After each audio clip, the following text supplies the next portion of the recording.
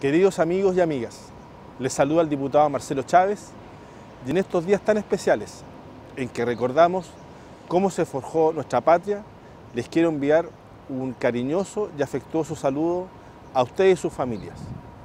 En estos días donde prima la unidad, esperamos que las legítimas diferencias puedan converger hacia un espíritu de solidaridad y entendimiento entre todos los chilenos y chilenas.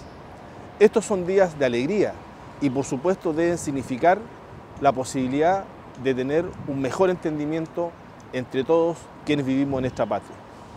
Si bien asumimos que estas son las fechas en las cuales celebramos la independencia nacional, porque en estricto rigor lo que conmemoramos es la primera Junta Nacional de Gobierno, esto tiene que ser motivo de una gran unidad para poder sacar adelante las grandes tareas que como país tenemos.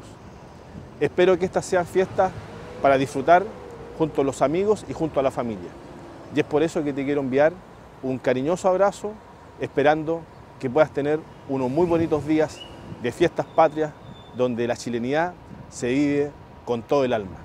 Con el afecto de siempre, tu amigo el diputado Marcelo Chávez.